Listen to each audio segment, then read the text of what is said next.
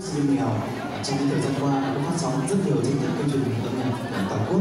Và chính vì đó là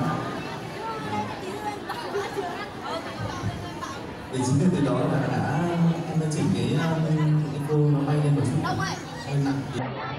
Và do vai chăm tác lúc được mang lại đề xin đi nghèo xin mời. Chị Rồi,